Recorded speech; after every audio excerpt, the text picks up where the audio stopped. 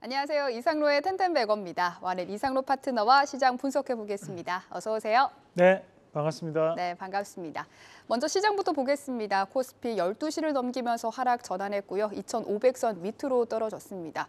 오늘 뭐 on-device AI 이런 강한 네. 테마 빼고는 모두 다 개별 이슈에 좀 움직이는 것 같아요. 월요일부터 좀 조정이 있는 시장인데 어떻게 보셨어요? 음, 미국이 일단은 추수감사절 연휴기 때문에 거래는 크게 감소하는 음. 모습이 나타났던 부분. 그리고 이제 엔비디아에 대한 부분이 조금 하락하는 것에 대한 이유를 다는 것이 중국 수출 규제 수출 규제에 대한 부분이라든지 또는 중국 AI 반도체에 대한 연기 관련된 이슈가 음. 나오고 있지만 여기서 이제 우리가 주목해야 되는 것은 이 부분이 아닙니다. 그러면 어떤 부분이냐? 아직까지 언론에 노출되지 않는 악재 이슈가 어, 더 지금까지 AI 칩에 대한 부분에서 90% 이상을 독과점하고 있는 것이 엔비디아입니다. 하지만 이제부터는 마이크로소프트라든지 또는 이제 메타라든지 또는 이제 모바일 프로세서를 또 잘 만드는 업체들이 애플이나 또는 퀄컴 같은 기업들도 있거든요. 음. 그런 기업들도 모두 다 AI 칩에 대한 연구 개발이 이루어질 수 있다라는 기대. 그러면 당연히 엔비디아가 가지고 있는 독과점적인 지위는 깨질 수밖에 없다라고 현재 시장은 보는 것 같고 그에 따른 부분 자체에서 아직까지는 그 이슈가 언론에 노출되지는 않았지만 저는 충분히 이런 이슈가 어, 지금 잠재적인 악재로 나타나고 있다라고 보고요. 마찬가지로 이제 국내에서도 이런 AI 관련된 이슈가 확대되고 있다는 것은 삼성에서도 이런 생성의 AI를 만들 수 있다라는 거 어, 이런 얘기들이 앞으로도 꾸준하게 나올 수 있기 때문에 저는 현재 시장에 대한 키워드를 한 가지만 좀 뽑아본다면 결국 글로벌 시, AI 시장에 대한 확대가 앞으로도 이어질 수밖에 없는 만큼 어, 지금 12월 달은 결국 또다시 재료에 대한 매매를 할 수밖에 없는 실적에 대한 이슈가 되지 않는 달이 또 12월입니다. 그래서 저는 오늘에 대한 투자 포인트를 이렇게 잡았습니다. 글로벌 AI 시장의 확대. 음, 그런데 이 소프트 네. 기업들이 이제 하드웨어까지 진출을 하면서 경쟁이 심화되는 게 큰 악재입니까?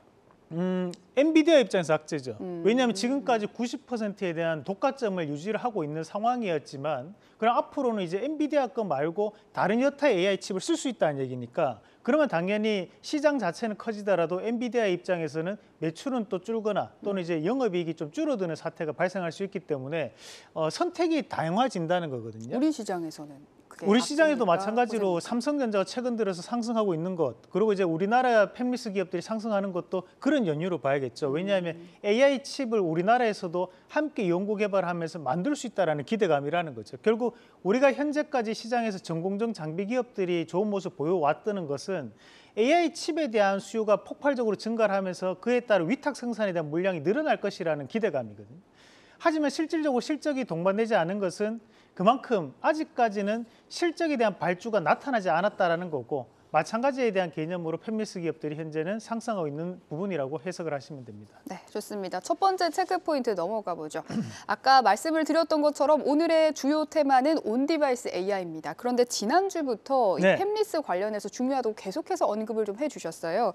또 그렇게 하면서 one pick 종목들도 오늘 ASR 종목들이 있는데 어떻게 좀 대응하면 되겠습니까? 우선은 이제 이 on-device AI에 대한 개념이 지금 당장 나오는 개념은 아닙니다. 2019년도에 삼성전자에서 미리 얘기를 했던 개념인 거고 어, 쉽게 우리가 이 on-device라는 것이 어, 과거에는 우리가 뭐 휴- 휴대폰에 접속을 하더라도 이것이 가상의 클라우드 서버에 접속해서 오는 거라면 어, 여기에서 이제 우리가 뭐 예를 들면 제가 앞에 있고 옆에 이제 권비정 앵커가 있으면 우리가 그냥 그 클라우드 서버를 가지고 다니는 개념이거든요. 음. 그러면 계속적으로 이제 인터넷 상황이 동반돼야 되고 통신이 동반돼 줘야 되잖아요. 그렇다 보니까 저전력이 필요한 거고 그럼 그 저전력 반도체 관련해서 설계를 담당하고 있는 기업이 어, 또 제주 반도체다 보니까 오늘 제주 반도체가 또 급등하는 모습이 네, 현재 52주 함께 신고가도 네, 나왔죠. 나타나고 있는 부분입니다.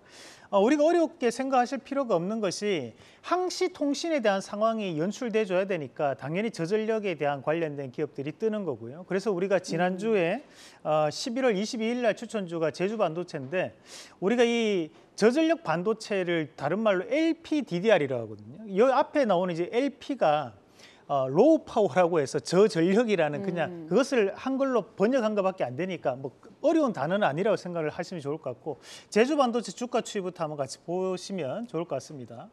어, 오늘 이제 52주 신고가를 기록하면서 상당히 강한 움직임을 나타내고 있는데 현재 흐름 자체는 어, 이미 이제 시세에 대한 주가 연속성에 대한 부분이 붙어 있다고 봐야 되거든요. 그럼 여기서 이제 조정이 나타나더라도 조정 자체는 상당히 짧고 깊게 나타날 수 있어도 이 추세는 이어진다고 봐야 됩니다. 그래서 저는 이게 당분간은 12월 달까지도 상승세를 부딪힐 수 있는 상황이기 때문에 지금 30원이 조금 넘는 부분인데요. 여기서 저는 충분히 100%까지도 갈 수 있는 오. 힘을 가지고 있는 종목이라 보고 이 제주 반도체에 대한 관심을 좀 더 가져보시는 전략으로 말씀을 드리고 또 한 가지 우리가 봐야 되는 것이 삼성전자 관련해서 이 fabless가 이슈가 되면 계속적으로 움직이 나오는 것이 design house 관련된 기업들입니다. 우리 이 design house도 11월 16일 날 design house 특집으로 한번 관련주를 다 보셨는데 오늘 코아시아, 뭐 AD 테크놀로지, 가온칩스 이 세 가지 기업 다 같이 움직이거든요. 그 중에서 우리가 11월 16일 했던 건 코아시아입니다. 코아시아를 좀 보시면 코아시아에 어, 우리가 연관 검색어가 뜨는 것이 어, 엑시노스가 뜨거든요. 이게 코아시아 계열사 코아시아 넥셀이라는 기업이 있는데 이 회사가 과거에 엑시노스를 만들었던 기업입니다. 모바일 AP를 만들었던 기업이기 때문에 또다시 이런 코아시아 관련된 기업들에 대한 움직임이 나타나는 것은 그만큼 다시 한 번 더 강한 흐름이 보일 수 있다라고 봐야 될 것 같고 어, 이런 팹리스 관련된 기업들에 대한 상승세로 인해서 어, 당분간 12월 달까지도 이런 상승세가 좀 더 이어지지 않을까. 저는 좀 수익률을 극대화하는 전략. 코아시아가 아니라도, 아니라도 상관없습니다. 뭐 AD 테크놀로지를 보유하고 계시거나 또는 가온칩스 보유하고 계신 분들은 좀 더 긴 시간을 가지고 보시는 것이 훨씬 더 수익률에 긍정적인 도움이 될 것이라는 말씀도 함께 드리겠습니다. 네, 좋습니다. 오늘 on-device AI가 워낙 강한 테마였기 때문에 좀 길게 네. 알아봤고요. 오늘 DDR5 관련주도 강세라고요. 네, 여기서 나왔던 LP DDR, 뒤에 DDR이 이런 램에 대한 부분이다 보니까 또 DDR5 관련된 기업들이 강세를 보이고 있는데 어, 우리가 봐야 되는 건 대덕전자 한번 같이 보도록 하겠습니다. 우리가 이런 DDR5 기판 관련된 부분 자체를 먼저 보실 필요가 있는데 대덕전자가 현재는 다시 한번 돌아설 수 있는 자리라고 보고 오늘 또 강세를 보이는 건 심택이라는 기업이 있습니다. 심택이 오늘 장기평을 돌파를 하면서 넘어가는 자리이기 때문에 이런 자리를 돌파를 한다는 것은 의미를 좀 둘 수 있는 자리입니다. 그래서 좀더 어, 추가적인 상승이 나올 수 있는 자리. 그리고 DDR5에 특화되어 있는 기업이 또 TLBA라는 기업이 있습니다. 이 TLB도 어, 만들어 있는 기술적 분석에 대한 차트이기 때문에 돌파에 대한 가능성을 좀 더 눈여겨보자. 뭐 한 가지를 더 말씀드리는 아비코 전자 정도까지 한번 같이 보시면 좋을 것 같습니다. 좋습니다. 마지막 체크 포인트는 비트코인 관련주입니다. 어, 지난 주말 비트코인이 3만 8천 달러를 넘어서면서 1년 6개월 만에 최고치를 기록했습니다. 오늘은 그래서 과상화폐 관련주 강세죠. 네, 뭐 가상화폐도 갈 수밖에 없는 지금 현재 상황이라 보고 마찬가지로 국내에서는 이제 지분을 보유하고 있는 기업이 이제 우리기술투자라는 기업이고 우리기술투자가 11월 10일 날 어, 저희가 이제 공략했던 기업인데 어, 뭐 당분간 이런 흐름을 이어간다고 봅니다. 여기서 이제 가상화폐 관련된 기업 뭐 세 가지 정도만 눈여겨 보시면 될 것 같은데요. 하나가 이제 우리 기술 투자, 그걸 좀 더 안정적으로 운영한다면 하나 투자증권이 또 지분을 보유하고 있는 기업이기 때문에 바닥권에 좀 움직임이 나올 수 있는 자리라고 보고요. 우리가 NFT 관련된 사업을 하고 있는 기업이 이제 갤럭시아 머니트리라는 기업이 있습니다. 갤럭시아 머니트리 주가 추이 한번 같이 보도록 하겠습니다.